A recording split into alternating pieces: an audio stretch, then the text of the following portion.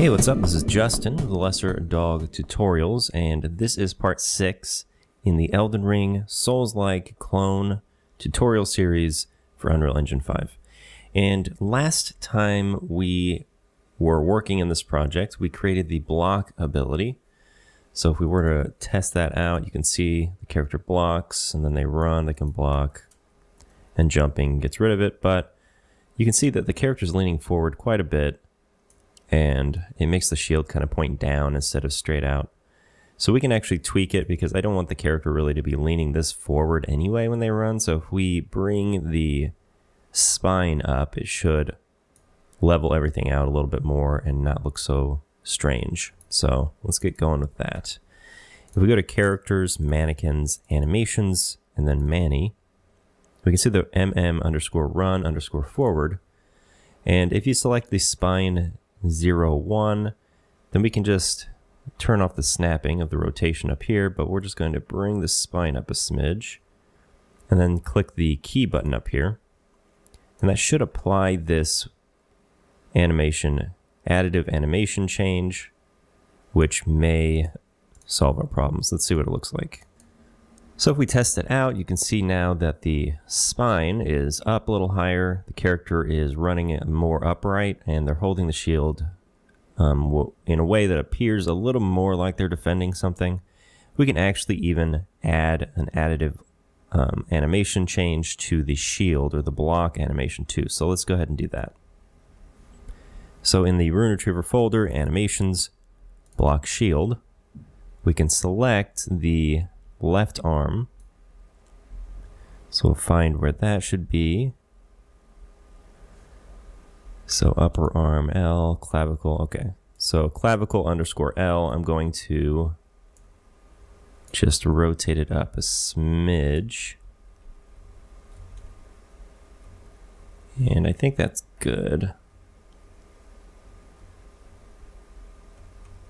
Yeah, I think I like that. So I'm going to add that key save it, and we'll see how that looks. Yeah, that feels better. Sweet. So now we have a much better looking block, and now we can start implementing the roll. So as with any ability, we just want to create a new gameplay ability. Right here. And we'll just call this GA underscore roll. And if we open up roll, this won't be too complicated. Um, we just want to first commit the ability. Right there. But after we commit the ability, what we want is a play montage um, node. And what this is going to do is play an animation montage, and an animation montage is just something that can like combine animations, it can add sound cues, it can add particle effects, it can do a lot of stuff. But for our purposes, we don't really need it to be too confusing. So let's head over to our anim dive roll animation. And if you right click, we can create anim montage right up here at the top. So go to create and then create anim montage. And we can name it just maybe M maybe uh, M-O-N-T underscore dive roll. So now we have the montage, and we head back over to the gameplay ability, and then in the dropdown, we'll see our montage right here, and we can select that. Now to get the skeletal mesh that we want to, to play this montage, we just need to get the actor info, and then we can break this. And then all we're looking for, if you hit the dropdown, is the skeletal mesh component. So we drag that up there, then we can collapse this. And now we can say that we're going to end the ability. Because the roll ends when the animation is done. So play montage is going to be the thing that drives this ability so that when this montage is over, the ability is over. So we don't want the top connection to be connected because this happens um, every frame, I believe. We want on completed, blend out, and on interrupted. So now if any of those happen, the ability ends. So if we compile and save, we can head over to the third person character blueprint. We're going to very quickly in the class defaults, we're going to add this ability to the default abilities. So we'll add roll. And then if we go to the roll section, we can delete these.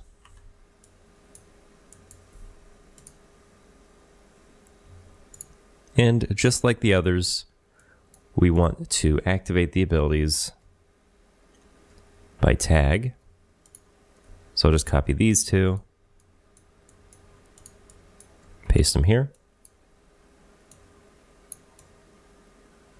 And I don't know, I think maybe only when it started it could perform, but we'll just leave it untriggered for now. Then we can right click the gameplay tag container, promote it to a variable, and we'll call that the roll tag container. And then for the roll tag, let's go ahead and create that. We'll compile. And then we will add player action. So I'll just click this here. So it's player.action.roll. And then we got to make sure that on the gameplay ability for a roll, we're looking for that specific tag so that it can fire when we hit it. So with this kind of setup very quickly, let's see if it actually works. So I'm in the game, I'm hitting R, and it looks like the roll has already been implemented. Very easy, but of course, it's not really listening to anything else. You hit it over and over again, it, just keeps rolling. Um, so obviously we have to say when it happens and while it's happening, we can't do it again, things like that. So let's figure that stuff out. So like the block ability, where we apply a gameplay effect of is blocking to the owner, why don't we go ahead and create a gameplay effect for roll and say is rolling is applied while the character is rolling. So we'll just add a gameplay effect. Just like that. And we'll say GE underscore is rolling. We can kind of go into what this does later. Maybe somehow it can prevent all damage or something like that. But really all we're going to need to do in this is grant a tag and we'll add it to the character section. So we'll say character dot is rolling.